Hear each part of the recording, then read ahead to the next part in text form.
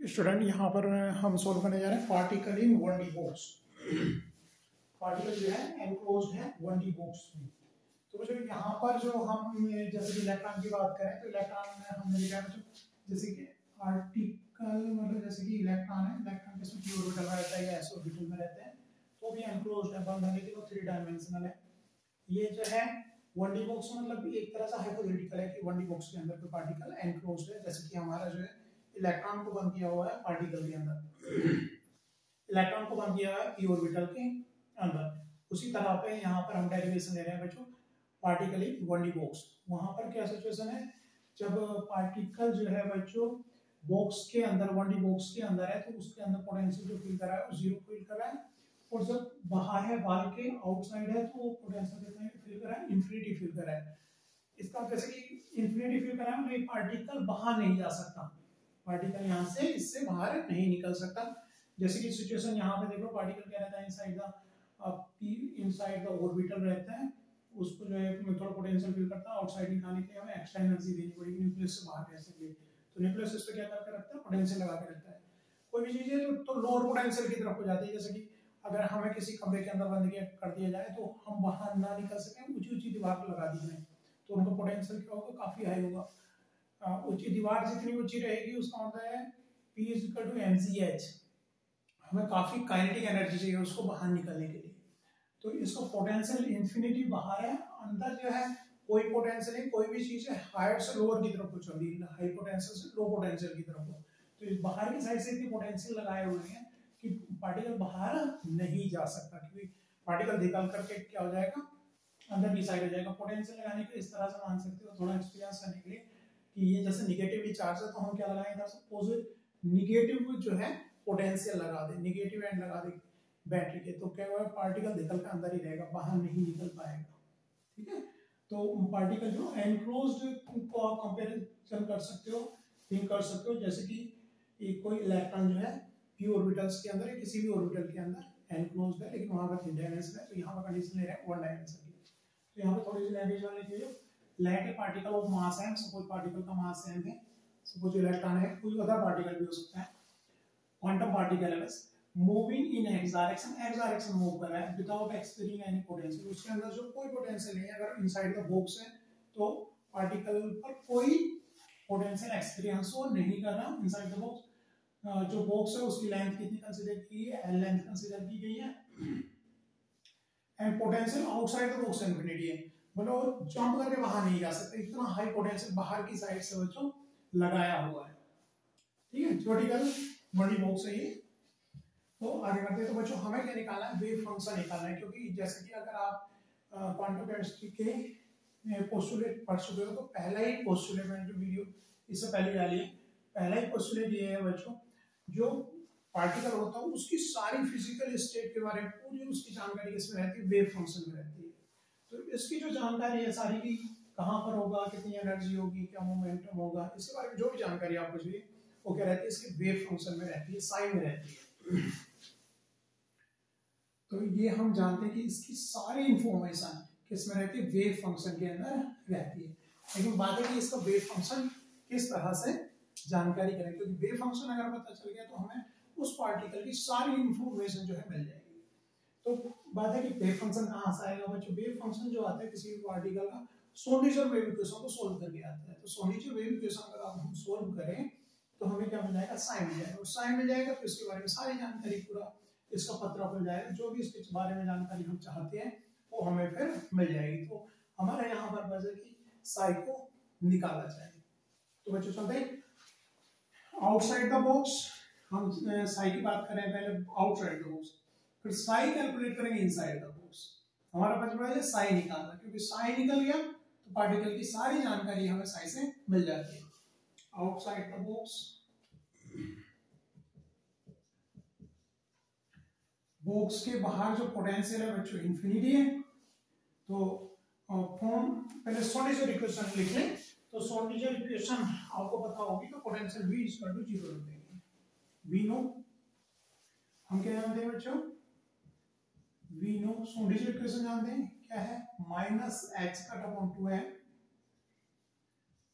del square upon del X square ये होगी बच्चों kinetic energy plus B potential energy psi इसका to होता है बच्चों ई साई ये सॉलिड इक्वेशन है आउटसाइड द बॉक्स ये सारी कहानी जो हैं हम किस, किसके लिए कर? साई निकालने के लिए। और साई निकालने के लिए क्या करना होता है हमें सॉलिड इक्वेशन सॉल्व करनी होती है। तो इसे हमने क्या लिखा सॉलिड इक्वेशन लिखिए अब पहले बात करें हम outside the box outside the box क्या होता है बच्चों? पोटेंशियल कितना रखा गया? इंफिनिटी रखा गया है। Minus X cut X cut square X cut square upon two M del square upon del X square plus infinity psi is equal to e psi. So, बच्चों outside the box है uh, to satisfy this equation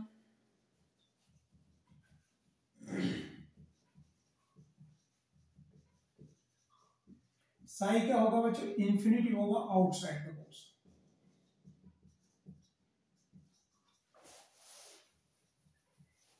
क्योंकि अगर Sai infinity नहीं होगा तो equation zero नहीं होगा तो यहाँ पे इंफिनिटी आ रहा है। तो इक्वेशन सेटिस्फाई नहीं होगी, क्योंकि हमारा जो बच्चों साइज़ जो है, क्या होना चाहिए? सेकेंड डेरिवेटिव उसका क्या होना चाहिए बच्चों? फाइनाइट होना चाहिए और कंटिन्यूस होना चाहिए। ये हमारे वेव फ़ंक्शन की जो है एक्सेप्टेड वेव फ़ंक्शन की बच्चों कंडीशन है। तो अगर ये इस साइड में इंफिनिटी हो जाएगा तो प्रॉब्लम है, क्योंकि जो इक्वेशन है, वो सेटिस्फाई नहीं होगी। साई हमारा क्या नहीं होगा? सेटिस्फैक्ट्री नहीं होगा। साई तो फाइनाइट ही होना चाहिए। तो आउटसाइड द बुक्स में जो क्या है साइज़ ज़ीरो ये अदर वे है कहने का साइज़ का टू ज़ीरो आउटसाइड है, कि particle can not be find outside the box particle box के बाहर नहीं पाया जा सकता। क्योंकि पार्टिकल के पाए जाने की जो प्रोबेबिलिटी है, वो साई स्क्वायर से पता चलती है। और साई अगर ज़ीरो हम बोल रहे हैं, इसका मतलब ये होता है कि पार्टिकल बॉक्स के बाहर नहीं पाया जा सकता। साई ज़ीरो तो पार्टिकल होगा ही। नहीं तो हम अदर वे में इस चीज़ को कह रहे हैं कि particle can not be find outside the box particle जो है बॉक्स के बाहर नहीं हो सकता। ये क्योंकि यहाँ पर क्या होगा ये टर्म इंफिनिटी हो गई। ये ज़ीरो कब बनेगी बच्चों? साइन इक्वल टू ज़ीरो तो यहाँ पर sign must be zero to satisfy this equation इस इक्वेशन को सेटिस्फाई करने के लिए साइन क्या होना चाहिए? ज़ीरो होना चाहिए। या फिर हम अदर वर्ड्स में कह दें कि पार्टिकल जो है बॉक्स के बाहर नहीं पा सकते। बाहर नहीं आ सकता क्योंकि पोटेंशियल इंफिनिटी में। उसको इन्फिनिटी एनर्जी चाहिए पार्टिकल को बाहर निकलने के लिए, जो कि उसके पास पॉसिबल नहीं है। तो पार्टिकल क्या रहेगा? केवल इनसाइड द बॉक्स रहेगा। और हम वेव फ़ंक्शन जो है, बच्चों पार्टिकल का कहाँ? इनसाइड द बॉक्स कैलकुलेट करेंगे सोंडीजर वेव इक्वेशन सॉल्व करेंगे तो बच्चों इनसाइड द बॉक्स हम सोंडीजर वेव इक्वेशन को सॉल्व करेंगे, ना कि आउटसाइड आउटसाइड तो वेव फ़ंक्शन साइड का रहेगा ज़ीरो रहेगा। आगे चलते बच्चों। तो वेव फ़ंक्शन हमें कहाँ पे निकालना है इनसाइड द बॉक्स ना कि आउटसाइड द बॉक्स खाली हमने यहाँ पे लिख करके बता दिया कि ऊपर वाली इक्वेशन जो है, वो सेटिस्फाई नहीं हो सकती। जब तक कि साइज़ का टू ज़ीरो ना हो। साइज़ ज़ीरो का मतलब प्रोबेबिलिटी ऑफ़ इलेक्ट्रॉन के पाए जाने की क्या होती है, उसका स्क्वायर होती है। तो इसका मतलब क्या है पार्टिकल जो है बॉक्स के बाहर वन बॉक्स के बाहर नहीं आ सकता। वो क्या रहेगा, केवल इनसाइड द बॉक्स ही रहेगा। चलो तो बच्चों इक्वेशन सॉल्व कर दें inside the box inside the box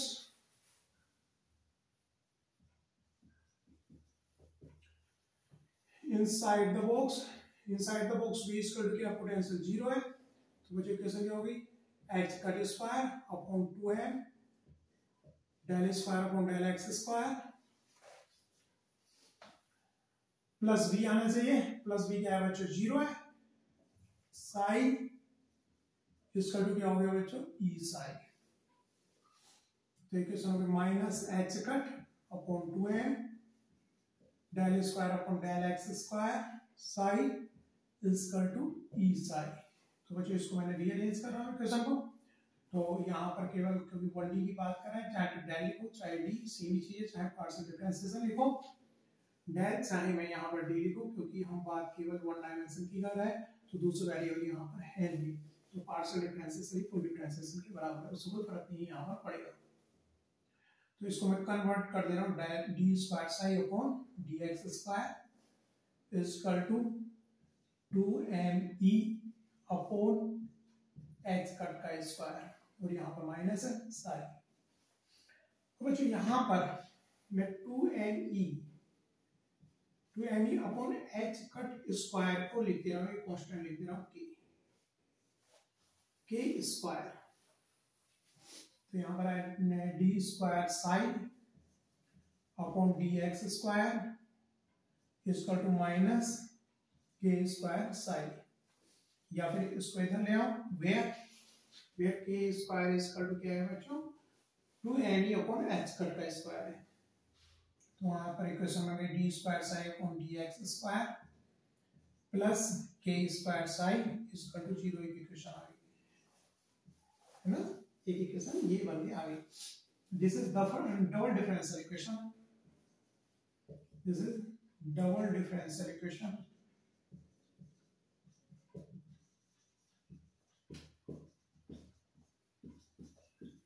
The solution of above equation are the solution of above बच्चों ये एक डिफरेंशियल इक्वेशन है, इसके सॉल्यूशंस जैसे कि हम कहते हैं quadratic equation x square minus 4 is equal to 0 तो x की वैल्यू सॉल्व करके आई प्लस माइनस 2i तो बच्चों x की वैल्यू यहाँ पर रखोगे तो ये इसको सेटिस्फाई करेगी। इसी तरह से डबल डिफरेंशियल इक्वेशन के सॉल्यूशंस होते हैं। वहाँ पर जो ये इक्वेशन है, अगर इज़ इक्वल टू बच्चों के एक्स रखोगे, तब भी बच्चों इसको सॉल्व करोगे, इस इक्वल टू ज़ीरो आ जाएगा। जैसे कि टू टू रखने पर ये इक्वेशन सेटिस्फाई हो रही है या X equal to minus two रखने पर भी ये इक्वेशन सेटिस्फाई हो रही है। इसी तरह साई एक इसका सॉल्यूशन है, जो कि इसको रखने पर ये सेटिस्फाई होगा। आप डिफरेंशिएशन करके देख सकते हो इस चीज़ को कि साई की जगह क्या रखना है बच्चों साइन के एक्स उसको डबल डिफरेंशिएट करो तो वहाँ से जो निकल के आएगा बच्चों माइनस के स्क्वायर निकल करके आएगा और वापस में कर जाएगा मतलब बराबर ज़ीरो आएगा इक्वेशन सेटिस्फाई हो रही होगी। ऐसे बच्चों इसका सॉल्यूशन अगर sin के x है तो a sin के x भी होगा। कोई भी आर्बिट्री कांस्टेंट मतलब आर्बिट्री कांस्टेंट मतलब इसकी कुछ भी वैल्यू हो सकती है। 2 2.1 3 4 5 कुछ भी रखोगे, तब भी इक्वेशन सेटिस्फाई होगी। ये डिफरेंशियल इक्वेशन की वजह करेक्टर है कि अगर उनके आगे कोई, उनका जो सॉल्यूशन होता है, उनके आगे कोई किसी कांस्टेंट से मल्टीप्लाई कर दे तब भी वो इक्वेशन को सेटिस्फाई कर रहा होता है। तो a sin के x इसका सॉल्यूशन है तो a sin के भी इसका सॉल्यूशन होगा। दूसरा बच्चों, इसका solution psi is equal to cos kx है। जैसे कि यहाँ पर इस के दो सॉल्यूशंस है प्लस टू और माइनस टू इनके बहुत सारे सॉल्यूशंस हो सकते हैं। तो एक सॉल्यूशन मैंने बताया psi is equal to sin kx है, दूसरा सॉल्यूशन बताया बच्चों psi is equal to kx है, जब psi is equal to kx मतलब psi की cos kx रख के डबल डिफरेंशिएट करोगे तो माइनस k स्क्वायर psi आएगा कट का मतलब इक्वल टू ज़ीरो आ जाएगा तो उसको सेटिस्फाई कर रही होगी तो इसका कोई आर्बिट्री कांस्टेंट आगे लगा दो। मैंने मैंने यहाँ पे क्या लगा दिया? बी लगा दिया बी के एक्स है, तभी ये इसका सॉल्यूशन होगा, तभी इस इक्वेशन को सेटिस्फाई कर रहा होगा, जैसे कि ये इक्वेशन इसको सेटिस्फाई कर रही है। तो डिफरेंशियल इक्वेशन की ये बच्चों सॉल्यूशंस हैं तो डिफरेंशियल इक्वेशन का ये कैरेक्टर है, इनका सम भी इसका सॉल्यूशन होगा, जो कि यहाँ पर एक जनरल सॉल्यूशन हम यहाँ पर ले रहे हैं। मतलब इनको अगर सम कर दें, जोड़ दें, तभी उसका ये सॉल्यूशन होगा। तो साइन इस इक्वेशन का सॉल्यूशन जो जनरल सॉल्यूशन लिख रहा ए sin की x प्लस b cos की x b एक इसका सॉल्यूशन है। Sin के x इसका सॉल्यूशन a sin के भी इसका एक सॉल्यूशन होगा। Cos के x इसका सॉल्यूशन है। Cos के x रखोगे तब भी इसका ज़ीरो हो जाएगी। तो इसके आगे कोई आर्बिट्री अपनी तरफ़ से कोई नंबर b लगा दिए कांस्टेंट लगा दिए, तब भी वो भी इसके सॉल्यूशन होंगे। तो इस इक्वेशन के टोटल सॉल्यूशन बच गई है। और जो भी हम चाह रहे थे सोल्यूशन इक्वेशन सॉल्व करके हमें क्या निकालना था? जो वेव फ़ंक्शन निकालना था। तो वेव फ़ंक्शन हमारा साई आ चुका है इसके सॉल्व करके इक्वेशन को। अब साई के अंदर आती है, सारी समझ सारी इंफॉर्मेशन रहती है तो समस्या दूर होगी। पार्टिकल के बारे में कुछ भी जानना चाह रहे हो तो इस साई के अंदर है। लेकिन साई के इसके सॉल्यूशन तो बहुत सारे सॉल्यूशन है। अगर ए की जगह टू रखोगे तब भी वो सॉल्यूशन है बी की जगह वन रखोगे तब भी सॉल्यूशन है। ठीक है, उनके एडिशन भी सॉल्यूशन है, लेकिन रियल सॉल्यूशन होगा जो बाउंड्री कंडीशन को सेटिस्फाई करे। क्योंकि वेव फ़ंक्शन इसके सॉल्यूशन बहुत सारे हो सकते हैं, लेकिन एक्सेप्टेबल सॉल्यूशन कौन सा होगा? जो कुछ कंडीशंस हैं, उनको सेटिस्फाई करे। तो हम उसको जो है बच्चों, उन बाउंड्री कंडीशंस पे उतार के देखेंगे, ये खरा उतरा है या नहीं। तो यहाँ पर बच्चों, इसको थोड़ा सा मॉडिफाई करेंगे ताकि ये एक क्या बन सके? एक्सेप्टेबल सॉल्यूशन हमारा बन सके। तो उसकी तरफ़ हम बढ़ते हैं। तो एक्सेप्टेबल सॉल्यूशन एक्सेप्टेबल सॉल्यूशन के लिए बच्चों क्या है? इसको सेटिस्फाई करनी होगी कुछ बाउंड्री कंडीशन जैसे कि बाउंड्री कंडीशन ये है बच्चों बाउंड्री पर।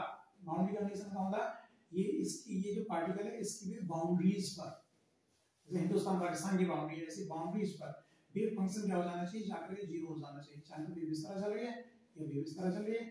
मतलब एंड पर जाकर के क्या होगी वेव ज़ीरो होगी। किसी भी तरह चल रही है। तो एक्सेप्टेड सॉल्यूशन वही होगी जिसमें वेव क्या हो रही होगी बच्चों? एंड पर जाकर के ज़ीरो हो रही होगी। एक्स इक्वल टू ज़ीरो से, ये जो पार्टिकल की लेंथ जो वन डायमेंशनल बॉक्स है इसकी length X equal to zero से एक्स इक्वल टू एल तक है। तो वेव हमारी क्या होनी चाहिए एंड पर जाकर के ज़ीरो होनी चाहिए। जो वेव फ़ंक्शंस इस कंडीशन को सेटिस्फाई कर रहे हैं उन्हीं को हम एक्सेप्ट करेंगे, स्वीकार करेंगे। अदर वेव फ़ंक्शन जो है, बच्चों, बेकार है वो एक्सेप्टेबल वेव फ़ंक्शन नहीं। तो ये जो सॉल्यूशन इक्वेशन यहाँ से सॉल्व की इसका ये सॉल्यूशन आया, लेकिन ये फाइनल सॉल्यूशन हम सारे के सारे सॉल्यूशन इसमें से एक्सेप्ट नहीं कर सकते। केवल कुछ ही सॉल्यूशंस उन सॉल्यूशन को एक्सेप्ट करेंगे जो इस कंडीशंस को सेटिस्फाई कर रहे हो, है ना? बाउंड्री कंडीशन को सेटिस्फाई कर। रहे हो बाउंड्री कंडीशन यहाँ पर है क्या कि वेव फ़ंक्शन एंड पर जाकर के क्या हो जाना चाहिए? ज़ीरो हो जाना चाहिए। है ना? Applying the boundary condition equation 1 2 3 4 जो भी नंबर आ रहा है। Applying the boundary condition on equation 1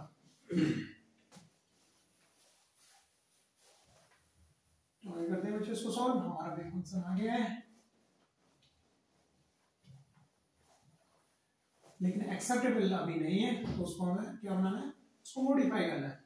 उसको लिमिटेड करना है। बहुत सारे वेव फ़ंक्शन है, लेकिन सारे के सारे वेव फ़ंक्शन एक्सेप्टेबल है। बहुत सारे फ़ंक्शन मतलब ए कुछ भी हो बी कुछ भी हो तो सारे के सारे बहुत सारे कॉम्बिनेशन यहाँ पर बन रहे हैं। लेकिन सारे के सारे एक्सेप्टेबल वेव फ़ंक्शन नहीं है।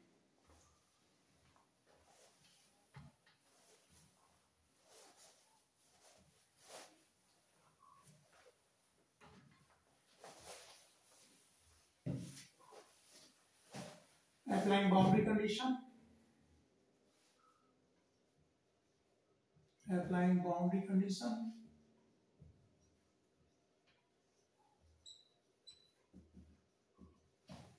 पहले एक एंड पे अप्लाई कर दिया मतलब x इक्वल टू ज़ीरो पर। x इक्वल टू ज़ीरो पर साई क्या होना चाहिए बच्चों? ज़ीरो हो जाना चाहिए। जैसे मैंने बाउंड्री कंडीशन बताया बाउंड्री कंडीशन में है साई क्या होना चाहिए? एंड एंड पर जाकर के क्या होना चाहिए? ज़ीरो हो जाना चाहिए। ठीक है, ये बाउंड्री कंडीशन है। तो psi x equal to zero पर साई ज़ीरो होना चाहिए।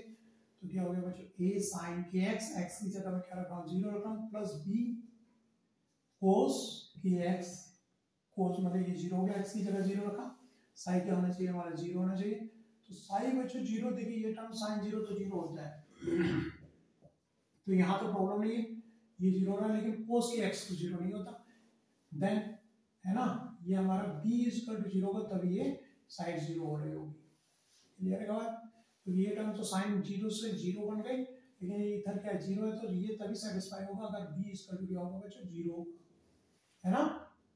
तो हमें यहाँ से ये पता चल गया कि जो बी कॉन्स्टेंट है, हमने आर्बिट्री कोई भी नंबर लिया था, वो कोई भी नंबर नहीं हो सकता। ज़ीरो होगा सेटिस्फाइड जो वेव फ़ंक्शन हमारे सेटिस्फाई होंगे, जो इस साइड पे जा करके क्या हो रहा है एक्स इक्वल टू ज़ीरो पे यहाँ से स्टार्ट हो रहा है वेव फ़ंक्शन उनमें बी मस्ट बी ज़ीरो तो एक्सेप्टेबल वेव फ़ंक्शंस में बी क्या होगा? ज़ीरो होगा। तो हमारा देन इक्वेशन वन बिकेम तो इक्वेशन वन जो है, क्या बन psi is equal to A sine के एक्स ही बचा।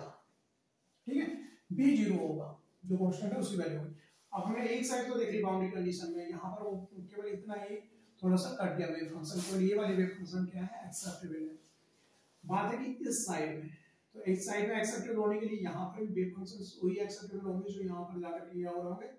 ज़ीरो हो रहे होंगे। अदरवाइज़ यहाँ ज़ीरो नहीं होगा तो एक्सेप्टेबल है तो दूसरी साइड में भी देखेंगे। मतलब एक्स स्क्वायर पे यहाँ पर क्या एक्स स्क्वायर ज़ीरो है? लेंथ इसकी कितनी है? एल है। एक्स स्क्वायर टू एल पर देखेंगे कि ये वेव फ़ंक्शन ज़ीरो हो रहा है या नहीं। और एक्स स्क्वायर टू एल उस कंडीशन उधर जाकर के भी साइड क्या होना चाहिए। ज़ीरो होना चाहिए तो तो ये हमारा वेव फ़ंक्शन बचा। To putting this value in equation two equal to zero, A sine zero रखा है यहाँ पर। तो बच्चों ए साइन ज़ीरो, यहाँ पर एक्स स्क्वायर टू क्या कौन सी कंडीशन है? एक्स स्क्वायर टू एल लिख रहा है तो यहाँ पर क्या लिखा है? एक्स की जगह क्या लिखूँगा बच्चों? एल। तो ए ज़ीरो नहीं हो सकता। अगर ए, क्योंकि बी कह दिया हमने ज़ीरो है। अगर ए भी ज़ीरो होंगे तो वेव फ़ंक्शन खत्म हो गया। वेव फ़ंक्शन हो गया मतलब पार्टिकल्स है कुछ ना तो वेव फ़ंक्शन लगेगा तो ए का नॉट बी ज़ीरो। ए तो ज़ीरो हो नहीं सकता। क्योंकि बी ज़ीरो हो गया तो ये टर्म खत्म हो गई ए ज़ीरो कर दो ये खत्म खेल खत्म। है ना? खेल तो खत्म है। क्योंकि पार्टिकल है पार्टिकल बॉक्स के अंदर है तो ए कांट भी ज़ीरो इसका मतलब साइन के एल को ज़ीरो होना होगा। तभी तो यहाँ पर जाकर ये ज़ीरो होना होगा। तो इसका मतलब है के एल की वैल्यूज़ है ना? A can not be zero A can't be zero A can't be zero ताकि वेव फ़ंक्शन यहाँ पर जाकर के ज़ीरो हो तो उसके लिए ज़रूरी है कि के एल कैसी वैल्यू होनी चाहिए? के एल जो है एन पाई होनी चाहिए क्योंकि हम जानते हैं बच्चों साइन एन पाई मतलब sine one pi one eighty sine two eighty sine three pi इन सब की वैल्यू क्या होती है? ज़ीरो होती है। तो के एल ऐसी वैल्यू होगी ताकि जिन वेव फ़ंक्शन तभी यहाँ ज़ीरो होगा तो के एल ऐसी वैल्यू होगी कि किस ऐसी वैल्यू होगी कि वो 180 के उसमें बन रहा हो इंटीजर नंबर हो, जहाँ N integer 1 by 2 by 3 by 4 by तभी ये टर्म ज़ीरो वही वेव फ़ंक्शन एक्सेप्टेबल होगी। इनमें के एल क्या होगा? एन बाई 3 बराबर होगा। एल तो बच्चों लेंथ है तो इसका मतलब के के जो कांस्टेंट है, वो क्या होगा? एन पाई अपॉन एल होगा। ठीक है? के क्या होगा बच्चों? एन पाई अपॉन एल होगा। तो हमारा जो वेव फ़ंक्शन है, जिसके अंदर जो है वेव फ़ंक्शन ऐसा था, सभी जो वेव इक्वेशन को हमने सोल्व किए इनसाइड द बॉक्स उससे जो वेव फ़ंक्शन मिला हमें लेकिन उसमें भी देखना था कि एक्सेप्टेबल वेव फ़ंक्शन हो। एक्सेप्टेबल कैसा जो बाउंड्री पे जाकर के ज़ीरो हो तो बाउंड्री कंडीशन हमने तो लगाई तो वहाँ पर हमारा क्या आ गया था बच्चों b इक्वल टू 0 आ गया था। लेकिन फिर बाद में देखा psi is equal to sin के x रह गया। तो हमने दूसरी बाउंड्री कंडीशन लगाई, ताकि वेव फ़ंक्शन वहाँ पर 0 रहा।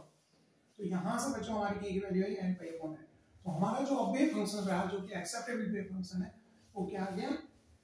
Putting this value in equation 2 तो हमारा जो एक्सेप्टेड वेव फ़ंक्शन हो गया इसकी वैल्यू को टू पे पुट करेंगे putting this value equation psi is equal to a sin की क्या लिख रहे हैं n pi upon l, n pi upon l l के लेके चलना है length is c n pi upon l है इनटू x, किस कहाँ पर पुट कर रहा है? इस इक्वेशन में पुट कर रहा है इसको, है ना? x यहाँ, k की वैल्यू क्या है? n पाई अपॉन l होना चाहिए। ठीक है? तो ये एक हमारा एक्सेप्टेड वेव फ़ंक्शन आ गया। अब इसमें कोई प्रॉब्लम नहीं है कि जो है बच्चों यहाँ पर भी ज़ीरो हो रहा है, इस साइड भी ज़ीरो हो रहा है, जो हमारी कंडीशंस हैं, जो हमें सकते हैं, वो फुलफिल ये बाउंड्री कंडीशन कर रहा है। ठीक? तो ये हमारा जो वेव फ़ंक्शन आ गया बच्चों कैसा आ गया? एक्सेप्टेड वेव फ़ंक्शन आ गया। अब इसके अंदर सारी जानकारी पार्टिकल की है। लेकिन एक कंडीशन है, बच्चों, की वेव फ़ंक्शन कैसा होना चाहिए? नॉर्मलाइज इसको क्या करना है? नॉर्मलाइजेशन ठीक है? क्योंकि वेव फ़ंक्शन क्या होना चाहिए टोटल इंटीग्रेशन प्रोबेबिलिटी का क्या होना चाहिए? इज़ इक्वल टू 1 होना। चाहिए तो हमें क्या करना है, इस वेव फ़ंक्शन को नॉर्मलाइज करना है।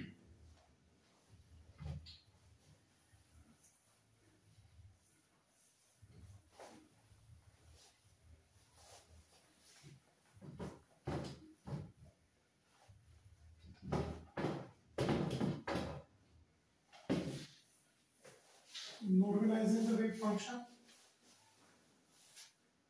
तो हमें क्या करना है, इसको नॉर्मलाइज करना। नॉर्मलाइजिंग वेव फ़ंक्शन तो बच्चों नॉर्मलाइजेशन की कंडीशन क्या है? टोटल इंटीग्रेशन का साइज़ स्टार्ट साइड ये वन इंटरप्रिटेशन से हमें पता है। टोटल इंटीग्रेशन क्या होना चाहिए बच्चों? वन होना चाहिए। तो यहाँ पर ज़ीरो टू एल क्योंकि बाउंड्री लेंथ जो बच्चों ज़ीरो टू एल ही है। वहीं तक हमें इंटीग्रेट करना। साइड कॉम्प्लेक्स कॉन्जुगेट साइड इसका स्क्वायर करना है मतलब। तो यहाँ बच्चों ने क्वेश्चन बाहर निकाल दिया ए स्क्वायर निकाल दिया और sine square N pi upon L X और वन ही डायमेंशन है तो वॉल्यूम एलिमेंट क्या हो होगा dx इक्वल टू 1 बच्चों, इसमें प्लेलिस्ट में वीडियो डाली हुई है। इस जो इंटीग्रेशन है बच्चों, वो क्या होता है? L by 2 होता है इक्वल टू 1 एक सेपरेट वीडियो इसकी। अलग से बनी हुई कि इसका इंटीग्रेशन क्या था? L by 2 तो क्या आ गया बच्चों square root L two upon N आ गया तो हमारा जो वेव फ़ंक्शन आया नॉर्मलाइज वेव फ़ंक्शन जो है आप क्या है? नॉर्मलाइज नॉर्मलाइज वेव फ़ंक्शन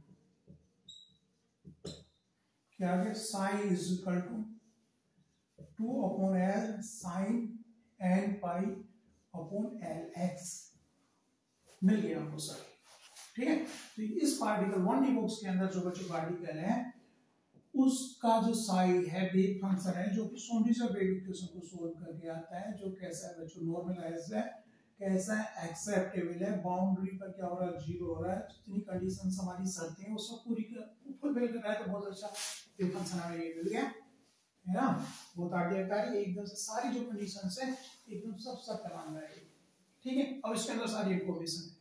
ठीक है? इस सपोज़ से हमें इसकी एनर्जी क्या होगी? ठीक है फ़ंक्शन के अंदर, इसके अंदर सारी इंफॉर्मेशन है। जैसे कि बच्चों, हमारी क्वांटम की जो एजम्पशंस हैं, वो कहते हैं कि वेव फ़ंक्शन के अंदर क्या है? सारी जानकारी वेव फ़ंक्शन में जो कुछ होगी, इससे वही बता दी जाएगी। तरीका क्या है? ये पोस्टुलेट है वेव फ़ंक्शन के अंदर क्या रहती है? सारी जानकारी रहती है। तरीका क्या है? इससे एक्सट्रैक्ट किया जाए इंफॉर्मेशन को। तो उसके लिए तरीका है कि इस पर ऑपरेटर अप्लाई करें। ठीक है? तो हम एनर्जी का ऑपरेटर इस पर अप्लाई करेंगे तो हमें, क्योंकि ये आइगन फ़ंक्शन है किसका बच्चों हैमिल्टनियन ऑपरेटर का। तो ये हमें निकाल करके एनर्जी दे देगा। तो बच्चों एक्सट्रैक्शन का तरीका क्या है? जो भी इंफॉर्मेशन हम लेना चाह रहे हैं, जैसे कि एक्स हैमिल्टनियन ऑपरेटर अप्लाई करें, जो इसके आइगन फ़ंक्शंस हैं उनपे तो यहाँ पर क्या आएगा? एक कांस्टेंट आएगा। हैमिल्टनियन ऑपरेटर एनर्जी का तो यहाँ पर एनर्जी निकल जाएगी और ये वेव फ़ंक्शन वापस रिपीट होगा। तो ये जो वैल्यू होगी, क्या होगी? आइगन वैल्यूज़ होंगी। आइगन वैल्यू मतलब एनर्जी की वैल्यूज़ होंगी। ठीक है? तो ये हमारे वे तो इससे वेव फ़ंक्शन के अंदर सारी जानकारी तो हम क्या करते हैं? इस पे अप्लाई करें हैमिल्टोनियन ऑपरेटर हैमिल्टोनियन ऑपरेटर क्योंकि पोटेंशियल b इक्वल टू 0 वहाँ पर तो हैमिल्टोनियन ऑपरेटर क्या बच गया? केवल बच गया x cut square upon 2n del square upon del x square हमारा बच गया अब वेव फ़ंक्शन क्या है बच्चों?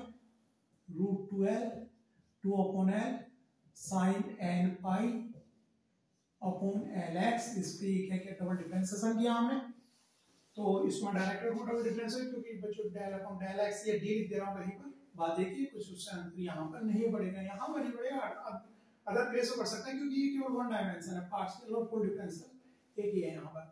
Sin ax का जो डिफरेंशिएशन होता है जो क्या होता है? A cos ax होता है। ठीक है? और cos ax का डिफरेंशिएशन क्या होता है बच्चों?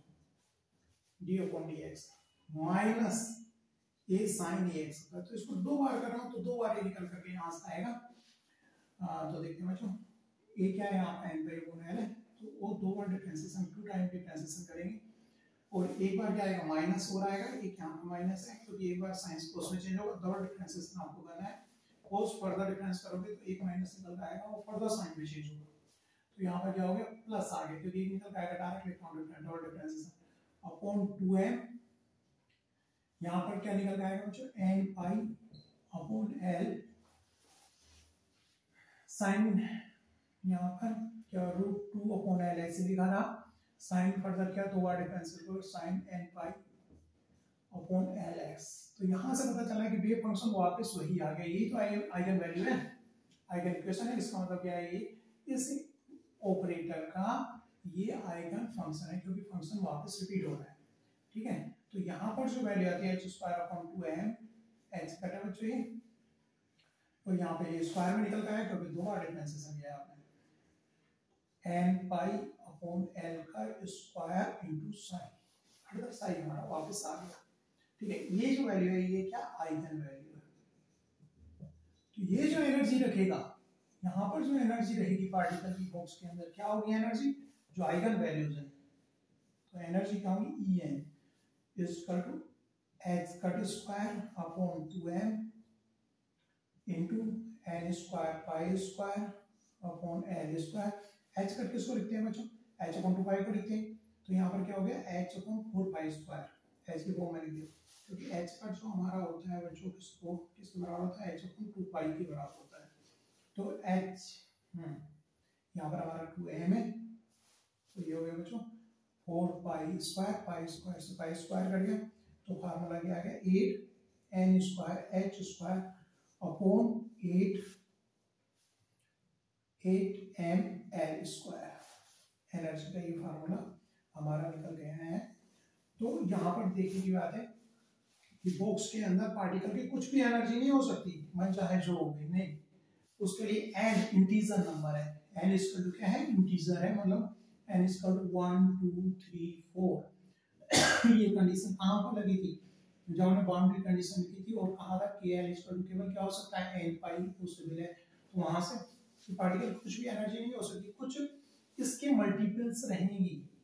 है ना? एन स्क्वायर जो है बच्चों इंटीजर है, या फिर इस, ये यूनिट हो गई इसकी, उसकी मतलब या तो क्या होगी वन रखोगे तो H square upon eight M L square होगी या फिर फोर या फिर क्या होगी? थ्री रखोगे तो नाइन टाइम इसकी तो पार्टिकल की कुछ भी एनर्जी नहीं होती मतलब कि आगे क्वांटाइजेशन आ गया। कुछ ही फिक्स एनर्जी वो रखेगा। ठीक है? तो इसको आगे देखते हैं बच्चों। ये एनर्जी का फार्मूला आ गया और वेव फ़ंक्शन आ गया। तो हमें एनर्जी की भी जानकारी है और वेव फ़ंक्शन की भी जानकारी। है तो इसकी बच्चों वेव बनाते हैं। पार्टिकल की किस तरह की वेव्स होंगी और किस तरह की एनर्जी इसकी होगी? एन क्या है इसमें? इंटीजर नंबर है।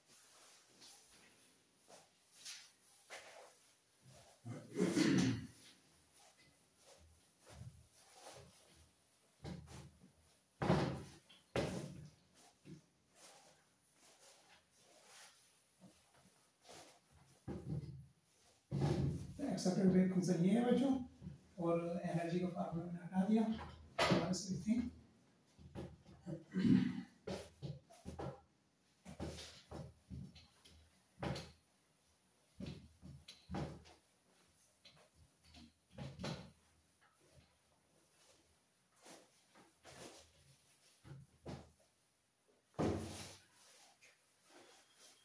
ई जो था बच्चों E N N square H square upon eight M L square energy का फार्मूला वहाँ पर था।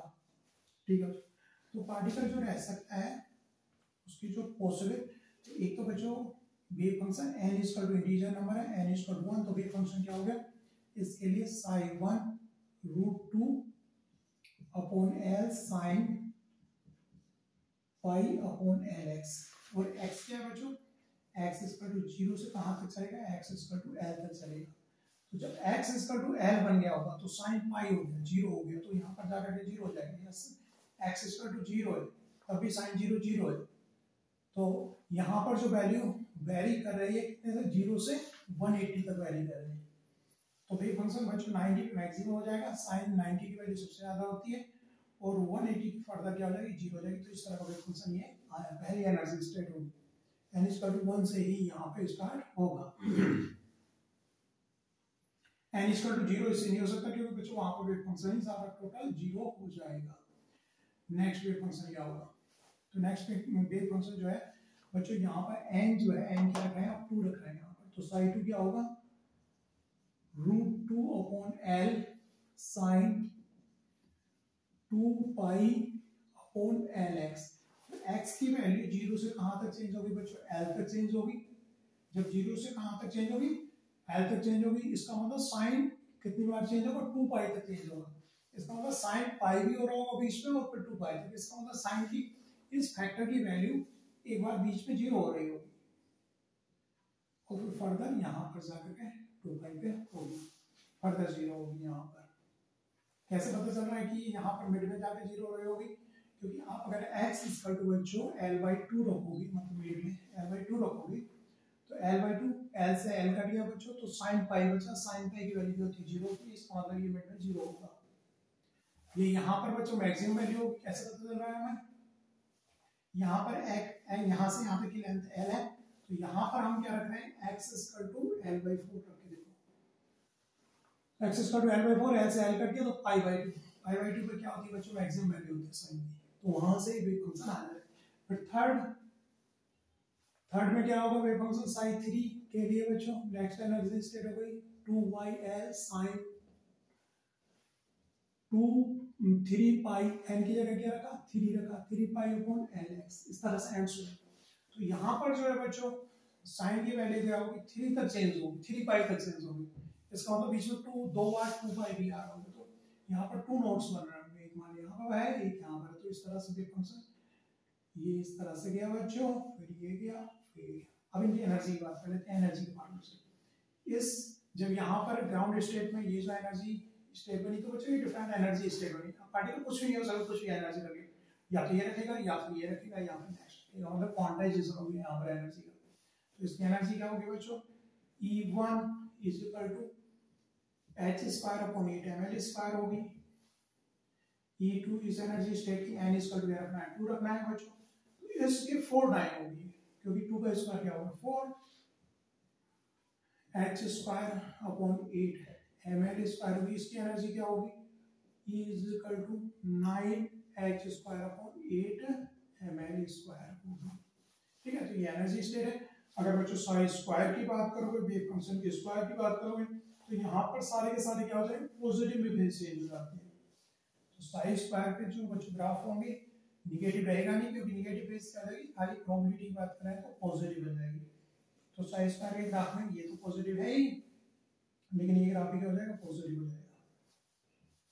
इसमें क्या, किस तरह से ग्राफ हो जाएगा बच्चों? ये तो स्क्वायर करेंगे तो निगेटिव तो रहेगा ये स्क्वायर हो जाएगा। तो ये कैसे होगा बच्चों? साइज़ स्क्वायर के ग्राफ हो गए।